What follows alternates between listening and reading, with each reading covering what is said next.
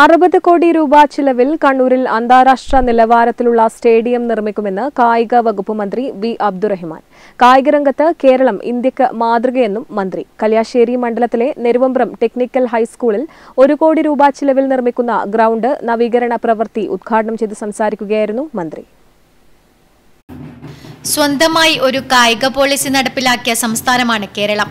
കായിക രംഗത്ത് ഏറെ വികസന പ്രവർത്തനങ്ങൾ നടപ്പിലാക്കാൻ സംസ്ഥാന സർക്കാരിന് സാധിച്ചു എന്നും മന്ത്രി പറഞ്ഞു.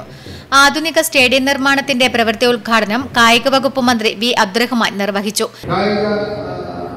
പ്രവർത്തനങ്ങളുടെ ഏറ്റവും പ്രധാനപ്പെട്ട ഒരു നിലയിൽ കണ്ണൂരിൽ പുതിയ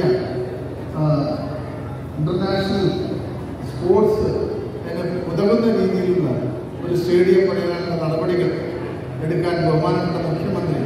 കഴിഞ്ഞ ആഴ്ച പ്രത്യേകം വിളിച്ച യോഗത്തിൽ ആ, പറഞ്ഞിട്ടുള്ള നിർദ്ദേശം നൽകി ഇതിന്റെ ഭാഗമായി അടിയന്തരമായി ഏ, നമ്മുടെ കണ്ണൂർ ജില്ലയിലെ ഏതെങ്കിലും ഒരു മണ്ഡലത്തിൽ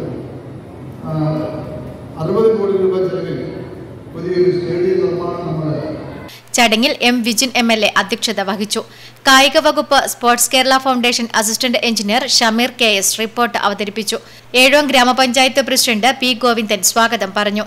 Chief operating officer doctor Ajay Kumar block panchayat vice president D Vimala ജില്ലാ പഞ്ചായത്ത് അംഗം C P Shiju K N Geetha തുടങ്ങിയവർ സംസാരിച്ചു. Network news Pazhayangadi.